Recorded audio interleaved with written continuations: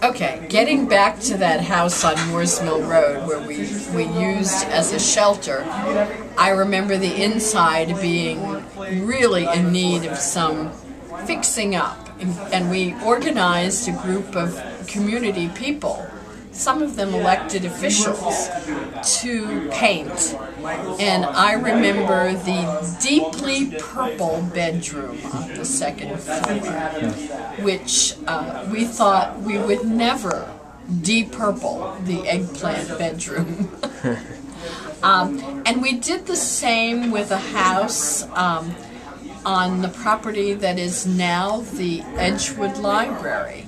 There was a house on that property before the library was put in its place that we used to shelter families.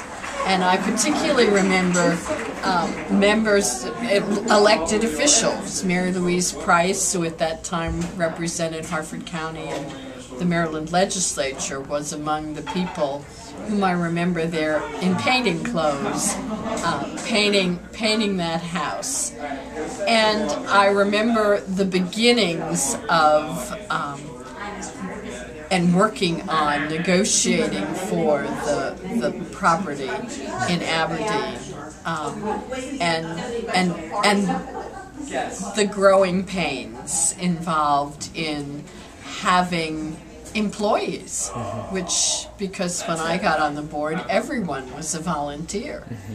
Um, and that is, it's really wonderful to see um, the organization take on the professional qualities that it has now.